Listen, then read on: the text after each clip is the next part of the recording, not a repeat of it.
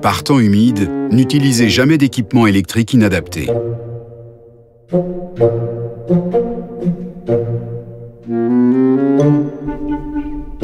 Les équipements utilisés doivent toujours être munis d'une double isolation et offrir un degré de protection adapté.